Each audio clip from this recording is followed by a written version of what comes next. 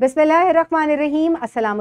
I hope you all are fine and staying safe and happy I am your GK teacher miss Farheen and I welcome you all to your GK class my dear students as you know that we are going to start unit number fifteen today the name of our unit is objects in the sky यानी कि आसमान पर मौजूद मुख्तलिफ़ चीज़ें so today is the introduction of this unit so let's get started so my dear students here are the student learning outcomes ये parents और teachers की अंडरस्टैंडिंग के लिए हैं कि जब आपका बच्चा ये यूनिट ख़त्म करेगा तो वो ये तमाम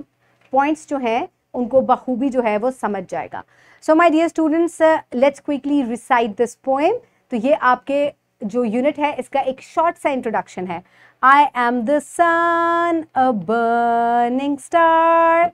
Without my heat, you won't go far. Without my heat, you won't go far. There can't be life, there can't be life without my shine, without my shine. That's why I burn all the time. That's why I burn all the time. So प्यारे बच्चों आपने इस poem को teacher के साथ साथ इशारे करके जो है वो पढ़ना है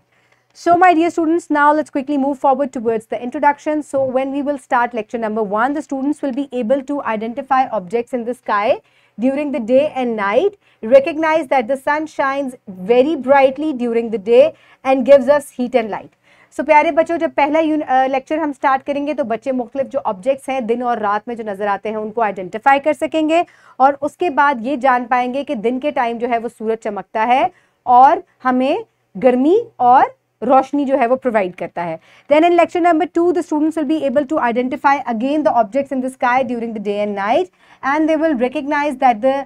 moon and stars are visible at night so again बच्चे जो हैं अब रात के टाइम uh, कौन कौन सी चीज़ें आसमान पर होती हैं और हमें रोशनी देती हैं उनके बारे में लेक्चर नंबर टू में पढ़ेंगे। Then in lecture number three will uh, do an activity identify objects in the sky during the day and night recognize that the moon and stars are visible at night so इस तरीके से बच्चे दिन और रात में जो चीज़ें आसमान पे नज़र आती हैं, उनको एक्टिविटी से ज़ाहिर करेंगे। Then in lecture number four the students will make a project and in lecture number five the students we will review the unit and I will provide you with the assessment sheet at the end ताकि आपकी evaluation हो जाए। सो my dear students आप इस unit को बहुत enjoy करेंगे। Have a good day thank you so much and अल्लाह हाफिज़